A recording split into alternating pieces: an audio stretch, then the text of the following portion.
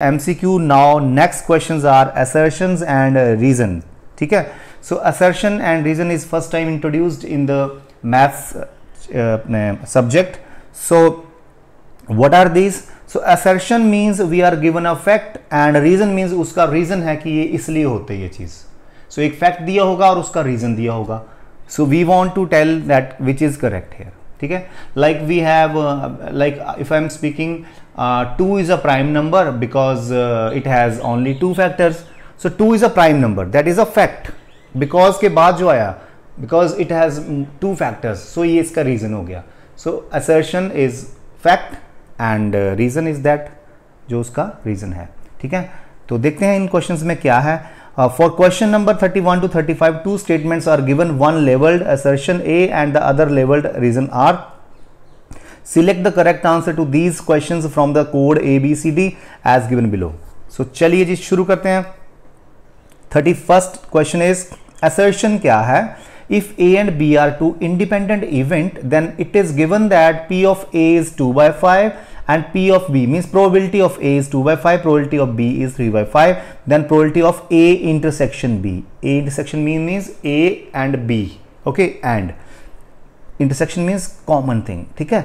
तो always remember that A intersection B when a, b are independent event is p of a into p of b. That you will study otherwise in plus one standard. So, here you can remember. So, यही इसका reason सही है, ठीक है? क्योंकि देखो, इन्होंने ये मल्टीप्लाई करा इन दोनों को। Three two six five five twenty five six twenty five so it means P probability of A intersection B is probability of A into probability of B तभी तो ये सिक्स ओवर ट्वेंटी फाइव आया। तो it is correct it means assertion का reason बिल्कुल correct है। तो here it is as that A B C D में हमने पढ़े नहीं अभी। ए बी सी डी क्या है? बोलते हैं ए में है। अगर ए आंसर देना है आपने तो assertion and reason both are correct and reason is correct explanation for the assertion तो ए ऑप्शन इज़ करेक्ट है। है ना? अगर assertion and reason both are correct statement but reason is not correct the explanation अगर assertion और reason दोनों ही सही हैं बट वो रीजन जो है वो actually is not the reason for this assertion तो बी ऑप्शन देना है आपने। ठीक है?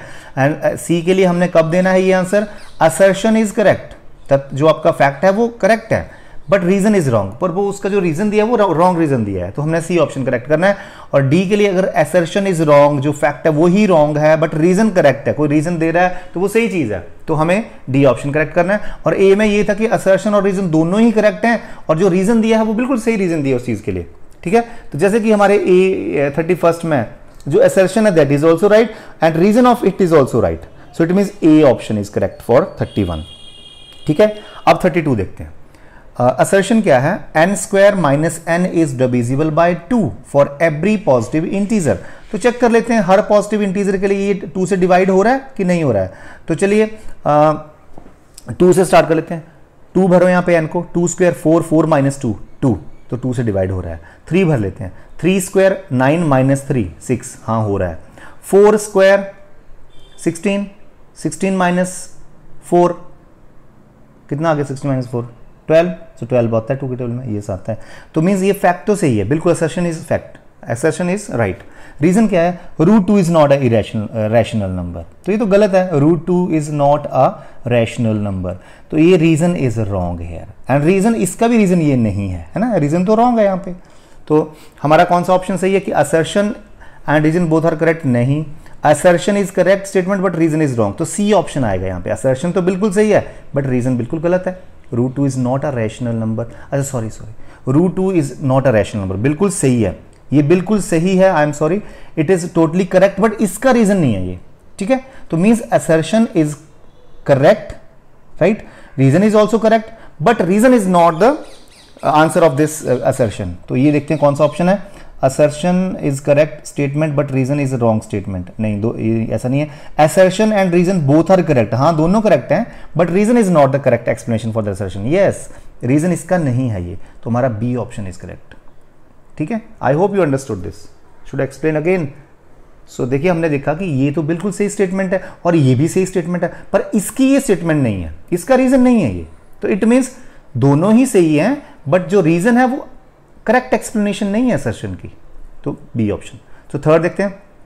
Thirty third if cos A plus cos square A is one then sine square A plus sine power four A is what तो ये भी one नहीं आता, मैं आपको सॉल्व करके बताता हूँ. तो असर्शन रॉन्ग है भाई, ठीक है?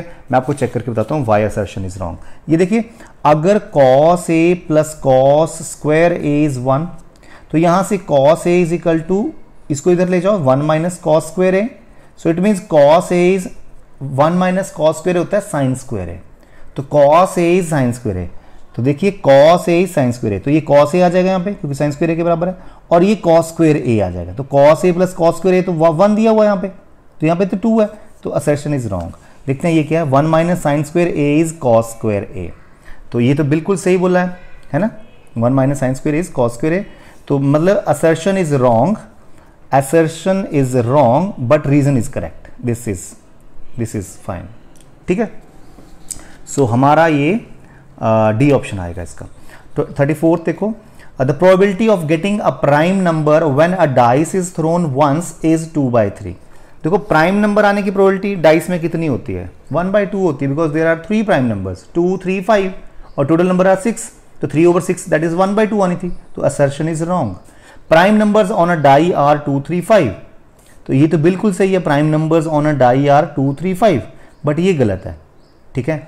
So assertion here also wrong ठीक है? But reason is correct assertion is wrong wrong but reason is correct statement तो डी आएगा जी यहाँ पे, ठीक है?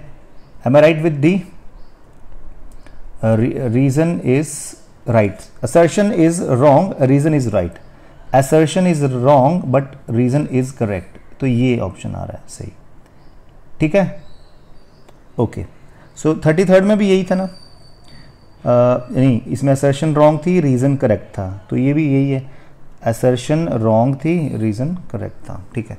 Okay ji thirty fourth fifth question sorry x plus four minus x plus y minus four is equal to zero and two x plus k y minus three is equal to zero has no solution if k is two तो k टू भर के देखते हैं।